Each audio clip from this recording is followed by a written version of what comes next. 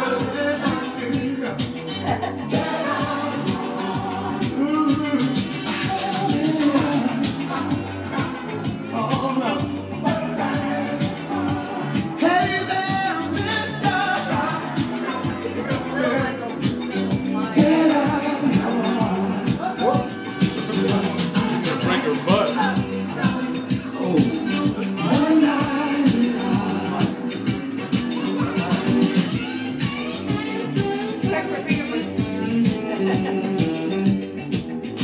You. got